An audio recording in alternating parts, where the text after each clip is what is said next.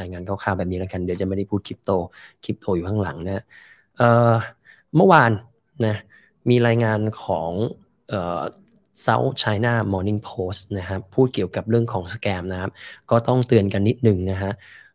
ช่วงนี้สแกมระบาดเยอะนะฮะแล้วก็มีรายงานมาหลังใหม่หาผมเยอะนะครับ ว่าโดนแชร์ลูกโซ่ โดนแชร์ลูกโซ่ โดนสแกมเยอะนะครับ ก็ต้องพูดกันอีกนะ ไม่พูดอีกก็ไม่ได้นะฮะฮ่องกง รายล่าสุดนะครับ หญิงสาวจะบอกว่าหญิงสาวไหมอะไม่ไม่สาวแล้วนะ เพราะมีลูกแล้วนะครับ เป็นเหยื่อแล้วกันนะครับสุภาพสตรีวัย 55 ปีนะไม่สาวแล้ว สุภาพสตรีวัย 55 ปีนะครับ มีรายงานที่ฮ่องกงว่าโดน โดนไปทั้งหมด 7 มิลเลียนฮ่องกง 7 ล้านเหรียญฮ่องกง คิดเป็นเงินสักประมาณ 30 กว่าล้านบาทนะครับ ภายในระยะเวลา 2 เดือนนะครับ โดย การหลอกลวง scam ครั้งนี้เนี่ยเป็น online cryptocurrency investment นะมีการใช้ออนไลน์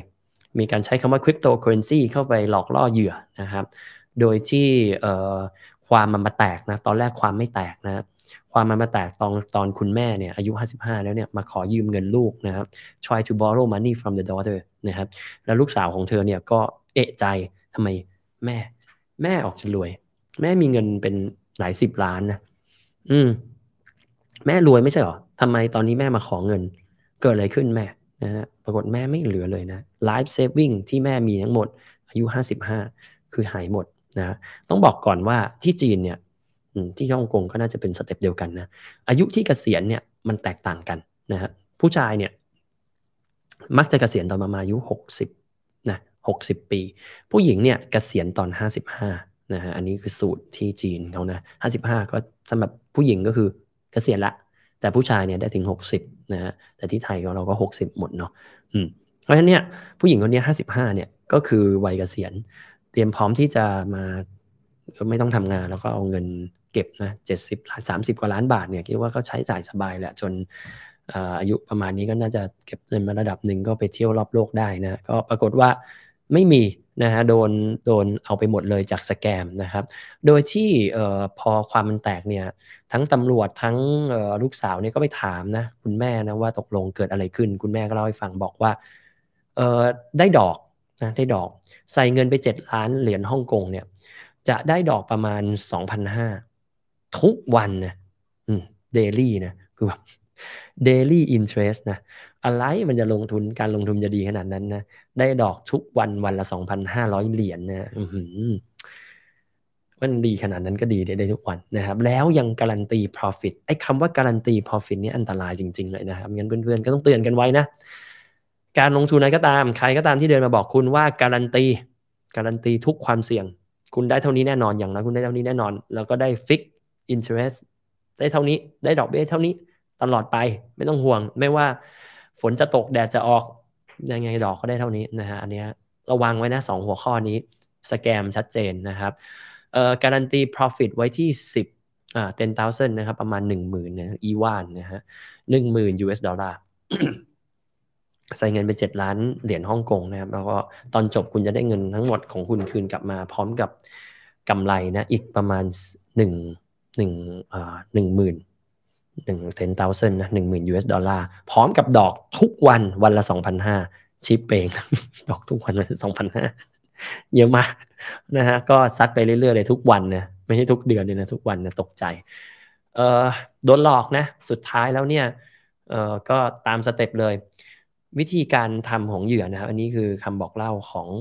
เออต้องบอกก่อนเออของเหยื่อนะเขาบอกว่าหลังจากที่คุณแม่ไม่รู้ตัวเลยนะ มารู้ตัวอีกทีตอนที่แบบว่าลูกเออเขาเรียกว่าอะไรดี ลูกสาวเตือนนะแล้วลูกสาวก็บอกทำไมมันเกิดอะไรขึ้นนะแม่บอกว่าต้องยืมเงินไปเพื่อจะเอาไปใส่ซุตตี้นะครับซุตตี้คือเงินที่แบบเงินค้ำประกันอะเงินรับประกันอะคือหลักการของสแกมเมอร์เหล่านี้เนี่ยคุณโอนเงินไปเขาจะให้คุณโอนเงินไปบัญชีเยอะๆเลยหลาย ๆ บัญชีในกอในขอแต่ละครั้งมันโอนไม่เหมือนกันเลยชื่อแล้วคุณก็แค่นี้มันคุณก็ควรต้องเอะแล้วนะ ทำไมคราวที่แล้วคราวนี้มึงให้โอนกันคนละบัญชีวะและชื่อนี้ชื่อใครเนี่ย บางทีความโลภเข้าครอบงำนะก็ไม่สนใจเนี่ยมันโอนมาให้เราตั้งสองพันห้าทุกวันชอบนะก็โอนไปเลยบัญชีไหนกูก็โอนไปหมดนะอันนี้คือสิ่งที่มันน่ากลัวมากๆเลย แล้วก็จะมีองค์มีแอปมีเว็บไซต์นะฮะเขาบอกว่าหลอกหลอกลวงด้วยการมีเว็บไซต์ที่น่าเชื่อถือมีแอปเปิดบัญชีเข้าโอ้โหดูดีมีตังค์นะฮะปรากฏว่าตอนกดจะถอนเนี่ยแรกๆมันก็ถอนได้นะ หลังๆเนี่ยมันถอนไม่ได้นะที่ต้องมายืมเงินลูกสาวเนี่ยเพราะจะเอาเงินลูกสาวไปใส่เป็น surety นะ surety เนี่ยก็คือเป็นตัวเงินค้ำประกันนั่นเองนะสมมติคุณจะถอนเงินสักเออแสนหนึ่งนะเอามาใช้ไอ้สแกมเมอร์พวกนี้เขาจะบอกว่าเออถอนได้ต้องใส่เงินมาก่อนเออสามหมื่นนะเป็นค่าประกันประกันโอ้แต่ว่าเงินข้างในเรามีเป็นสิบล้านอะทำไมเราถอนแค่หมื่นแสนเดียวไม่ได้นะฮะไม่ได้ต้องใส่สามหมื่น นะก็ไปยืมเงินลูกสาวเขาเยืมเมื่อสามหมื่นนะไม่เป็นกฎต้องยังไงก็ต้องงั้นอะก็ใส่ไปสามหมื่นก็ถอนมาได้แสนหนึ่งอะไรก็ถอนไม่ถึงเดือนนะลูกสาวไม่ยอมให้ยืมนะมันก็เลยคล้าย ๆ เป็นเเรื่องก็แดงขึ้นมานะครับ ก็ไปหาตำรวจอะไรก็ว่าไปนะครับตำรวจก็ไม่สัมภาษณ์กับสื่อนะบอกว่าเอ่อการไอ้เคสเนี่ยมีการโอนเงินเนี่ยไปทั้งหมดนะฮะ19เป้าหมาย นะฮะมี 19 บัญชีแล้วกัน 19 designated bank account โอนให้หมด 20 24 transaction โอ้โห เงิน 30 กว่าล้านนะโอนหมดภายใน 24 ครั้งต้องโอนครั้งละเท่าไหร่ไม่รู้นะบางทีอาจจะโอนครั้งนี้ไปเลย 10 ล้าน 5 ล้าน 7 ล้าน 2 ล้านอะไรแบบแป๊บเดียวก็หมดนะ24 ครั้งก็เกลี้ยงบัญชีเลยนะครับ ตอนนี้ก็ โดนไปค่อนข้างเยอะนะครับ สิ่งที่น่าตกใจก็คือทางตำรวจเนี่ยออกมาเปิดเผยข้อมูลบอกว่าที่ฮ่องกงเนี่ยมีรับรายงานนะนี่ไม่ใช่เคสแรก แล้วก็แต่เป็นเคสที่ฮือฮาแล้วกัน แล้วก็ตังเยอะ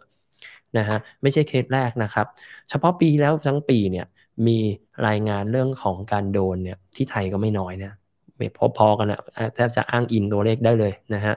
2,336ราย เฉพาะเคสที่เกี่ยวกับ cryptocurrency scam ใช้คำว่าคริปโตเคอเรนซีนะแต่ตอนจบอะไรไม่เกี่ยวอะไรกับคริปโตเลยนะ คือแชร์ลูกโซ่ล้วนๆนะฮะแต่ว่า cryptocurrency scam เนี่ยสองสามสามหกนะหกสิบเจ็ดเปอร์เซ็นต์นะครับขึ้นจากปีก่อนนะสังเกตนะว่าปีก่อนหน้านั้น 2021เนี่ยพันสามร้อยกว่าเคสเอง พอปี 2022 กระเถิบขึ้นมาเป็น 2,236 เคส ปีเดียวเพิ่มขึ้น 67%เพิ่มขึ้นเกินครึ่งนะ เกิน 50%เพราะฉะนั้นเนี่ยน่ากลัวชิบหายพูดภาษาไทยคือน่ากลัวชิบหาย น่ากลัวมากนะครับ เตือนเตือนด้วยเพื่อนๆที่เข้ามานะครับกำลังศึกษากำลังก่อร่างสร้างตัวคริปโตเคอเรนซีไปโดน scam เข้าไปทีหนึ่งนี่มันชีวิตมันเซ็งนะช่วยช่วยเตือนกันหน่อย ผมไม่อยากให้เจอเคสแบบนี้บางทีหมดกำลังใจกันไปเลยนะ ไม่อยากจะเรียนรู้อะไรแล้ว นะฮะก็รู้ว่ามันไม่เกี่ยวกับคริปโต แต่ว่าตอนนี้ก็ไม่มีตังค์จะทำอะไรแล้วแล้วก็ไม่มีกระจิตกระใจจะลงทุนลงทุนแล้วนะครับอืมงั้นก็ฝากกันไว้ด้วยนะครับ เรื่องของ scam นะ fixed income นะ fix ดอกเนี้ยไม่เอานะฮะไม่มีแน่นอนนะการันตีผล